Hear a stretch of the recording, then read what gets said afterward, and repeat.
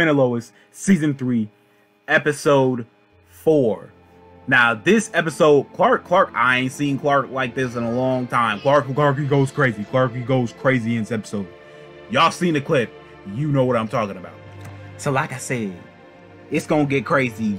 Look, what Clark does is actually insane. I'm not gonna lie. Yeah, it does. Like, I ain't seen Clark in this way in a long time.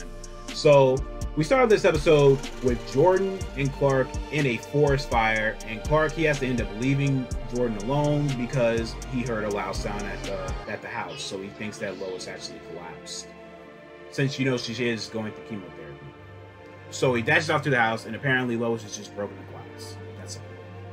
So that's what we're going to be dealing with the rest of this episode.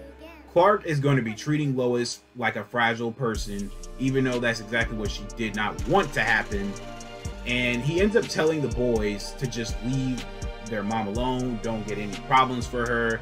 It's going to be a resting day for her because you know it's been a long time after the chemo and she needs rest. So he just tells her move away from bruno mannheim and they're going to just watch movies for the rest of the day. But of course something ends up interrupting that so jonathan he he ends up confronting uh, candace's dad emmett which results in him getting uh, clocked across the face and end up getting this big bruise. So,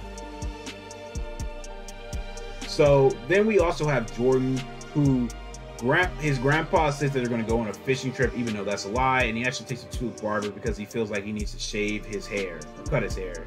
His curls are going away, his luscious curls. Now, I'm gonna be for real. I'm like Jordan, bro. I would never fucking do this. So he says these horrible things to the colonel even says like you know you're not a hero how would you know you're not a real hero and all that stuff and he's just like no i'm not doing that and he ends up just leaving and dashing off you can clearly see that the general is actually very very very emotionally damaged by that. Emotional damage. So then we have this other plot line with um john and pretty much he wants to go talk to his sister because he thinks there may be more information about what happened to his Earth One self. And John. And John that his Earth One self was the one who created the weapons for Bruno Mannheim. Because you know he wants to investigate. But Clark ends up telling her like what Lois did, and obviously he's pretty furious about that. She told Lois to leave her alone, but he doesn't confront Lois about it because you know rest day, all that stuff. So he ends up going by himself, and he's gonna go talk to his Earth One sister. Yeah, and then we also have the plot line with Sarah and uh, the Sarah aftermath, right? So Lana, she ends up trying to call Sarah, and Kyle, he still doesn't know the full situation of what happened. But Sarah says that, you know, Lana hit her. But that's when Lana starts calling, and she ends up declining, even though Kyle, he's just like, okay, like, what's up? Like, what do you want? Like, why are you calling her? Like, what happened?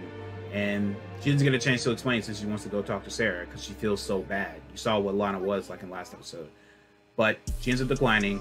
And Sarah, she says that she hit, you know, she hit her, and she doesn't explain the full story of why that happened. So Kyle, he's just like, I, no, I can't believe, no, we're gonna talk to your mama right now because she has no reason to put her hands on my child, on our child. Like she knows she should never do that. He does not fuck with that. So he ends up confronting Lana, and Lana, she says she feels so bad for it and the only reason she did it was because Sarah, you know, what she said last episode, that she was the reason that her dad, you know, that Kyle ended up cheating on her. Even though that's not true. That's not true at all. Lana is not the reason for that. And you probably should never say that to your mom. So she, she felt emotionally hurt, like in every right. Honestly, Sarah should have gotten slapped earlier, bro. Like, for real. She she annoying as hell, for real. I mean, I would have slapped her too, to be honest. You know, all of you guys would have slapped her too, for real. Come on. We all know. But yeah, Kyle, he didn't hear that rest of the story because know, she never told the rest of the story. So Kyle, he ends up going to Sarah and just like, okay, you didn't tell me that. And Sarah's just like, you know, didn't matter. Did it really matter? Like why she did it? She slapped me. But he ends up going to this whole story about how Sarah, Lana was the one who stood by her side while she was going through that whole suicide thing. So pretty much after she passed out of taking all those pills, y'all remember that story in season one about the whole suicide attempt. Lana was giving her CPR, you know, on her hands and knees, just giving her CPR. And when the ambulance came, she still never left her side, which kind of makes Sarah reconsider what she said. And now she kind of almost, well, not almost, she does feel bad. She genuinely feels bad for what she said. She finally realizes what she said was wrong. So they're gonna have a meetup and they're gonna go meet at a. But let's get back to Jonathan and the boys. So Jonathan, he goes home. Lois, she tells him to come back down here because she ends up seeing his face with bruise. And she's like, okay, what happened? Did you get into a fight and all that stuff? And yeah. Clark, he ends up going to her, and Jonathan, he ends up ratting Clark out anyway. He ends up riding Clark out, saying that, you know, he didn't want to mess. Clark told him not to mess with her, and, you know, yeah. Lois was obviously so after Lois confronts Clark about, you know, him telling people behind her back to just treat her like a fragile person, she's so angry at him because, you know, this is the exact opposite thing, doing the exact opposite thing she told him not, you know, not to do. yeah. So they kind of come to a common understanding that he needs to just back up, you know, just back away a little bit doing that. Stop treating her like a fragile person. That's exactly what she did not want to do. And just because she's going through cancer doesn't mean she can't be the boy's mother. Doesn't mean she doesn't have responsibilities. So Clark, he understands that and thing. And she even tells him about how Jonathan has a black eye. But Clark doesn't get to learn the full story because he has to go away to the DOD. So Clark, he doesn't get to talk much because he has to go back to the DOD. But Clark, he doesn't get to talk much because he has to go back to the DOD. And they think they may have discovered how Clark actually got his blood taken in the first place. So they had stored Clark's blood, the DOD, after his fight with Ally Allston. And pretty much they stored it because they feel like, you know, what if they have another medical problem like that again? They're gonna need his blood. So Clark, he is pissed. He is so pissed off that he actually stored his blood. And the lady, she says that none of all the samples are accounted for. None of the samples have been released. None of the, nothing is missing.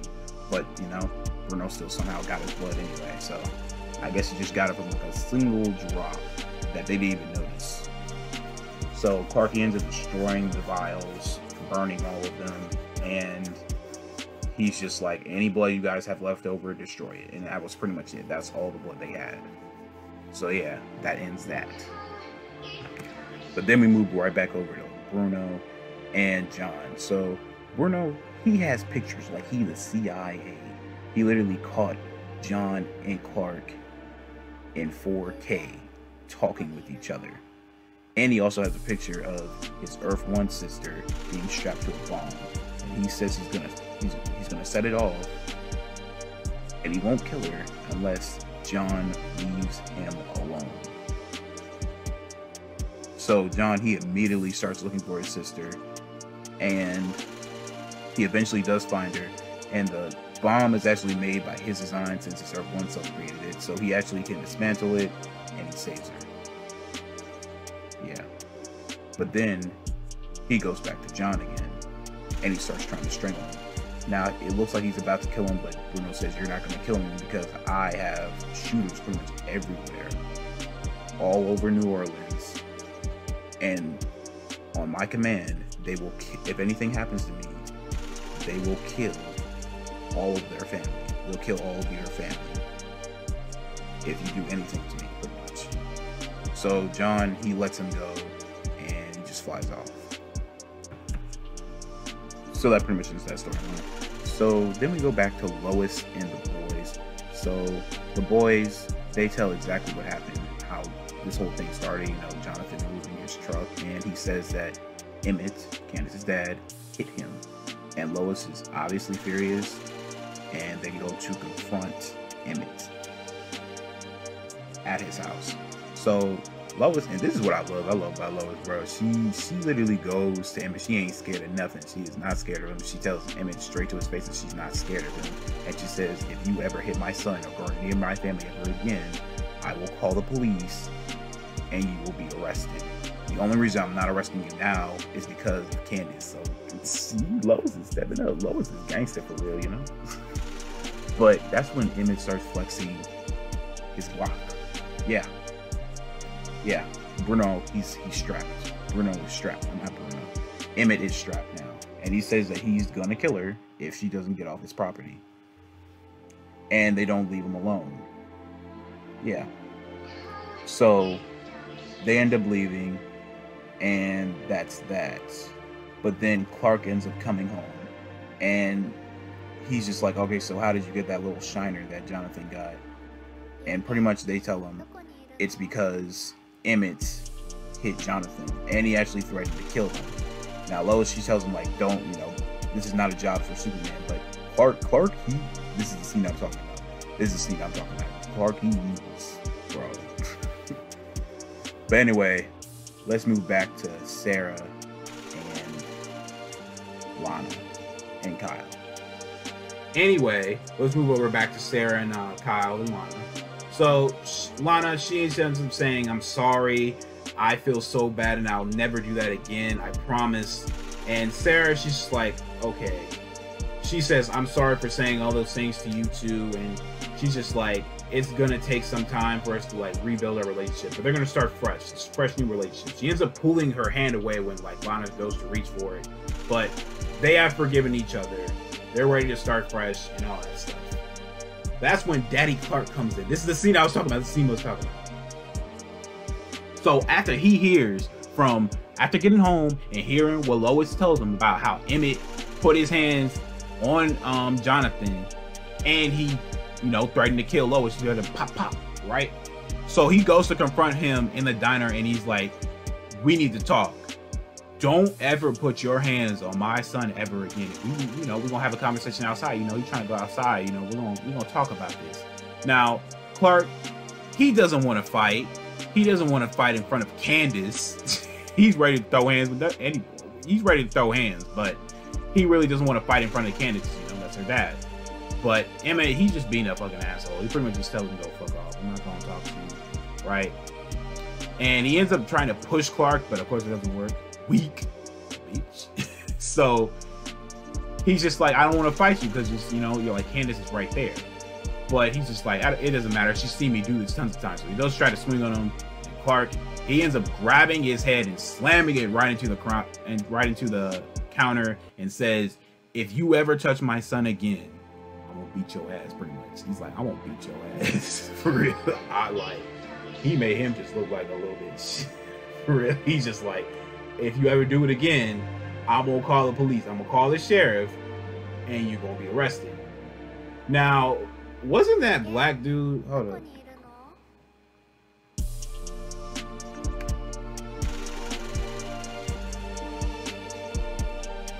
Now, if I'm not mistaken, isn't that black dude in the in the diner? Isn't he the sheriff?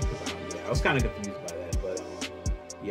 Candace, she's like, I can't believe my dad would do that. Like, I know he was bad, but I didn't think he was that bad. So she's like, Can I go see him? Can I go apologize to Jonathan? And Clark agrees to take her.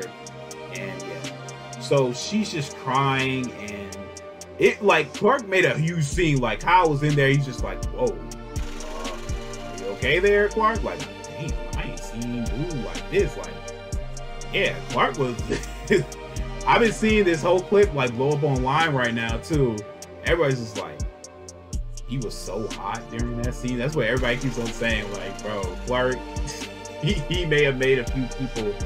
Tyler, you may have gotten a few people to call you know, call you their crush. You know, you may be the new crush, bro.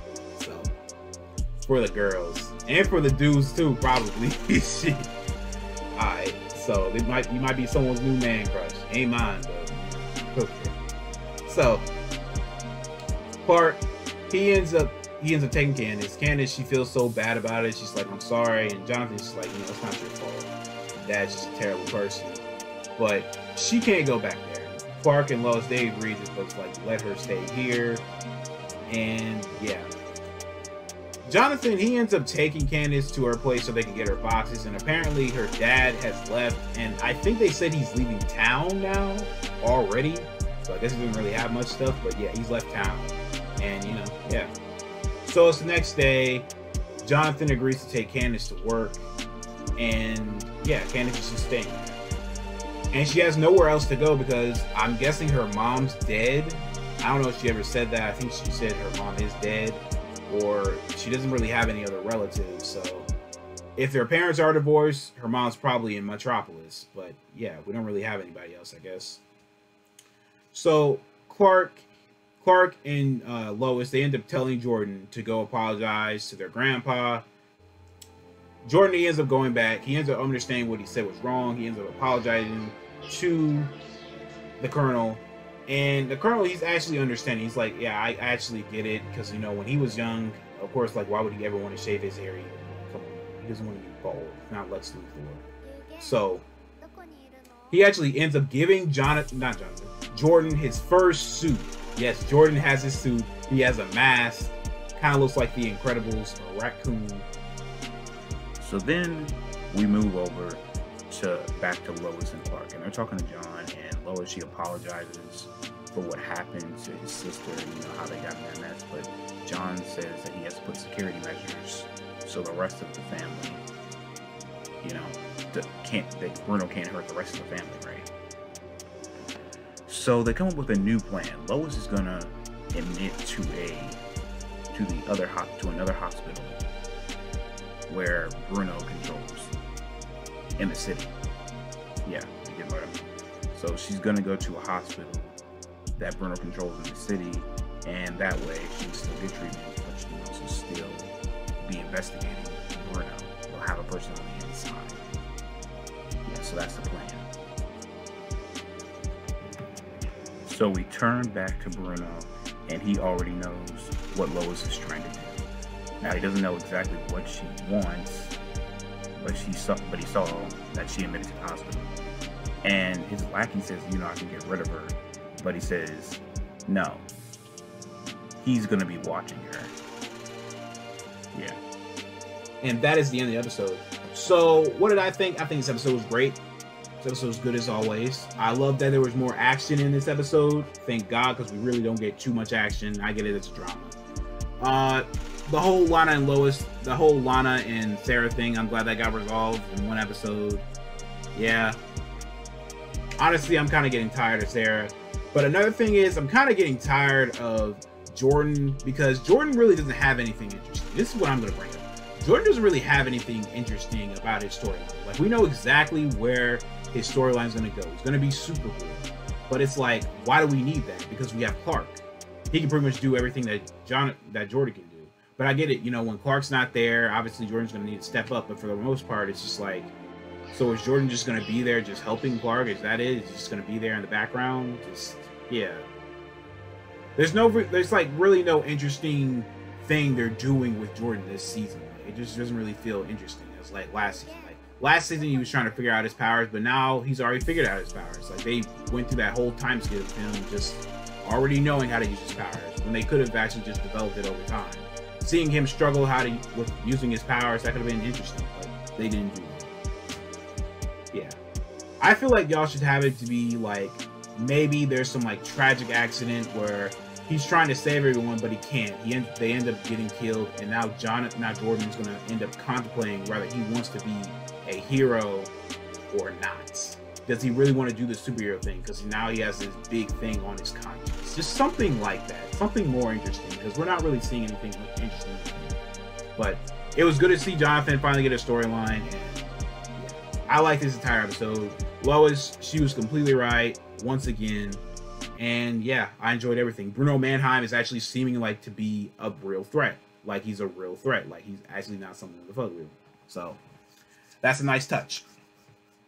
But anyway, yeah. What did you guys think of the episode? Was it good? Was it bad? Was it mad? Uh, don't forget to like, comment, and subscribe. Thank you guys for 180 subscribers. And don't forget to check out my Flash video when that comes out. And yeah. Want to put you on Richard early, but I reach room, but I'm going to share your story. Share with your cousin, share with your uncle, share with everybody. Bye, guys. Have an amazing life. See you all.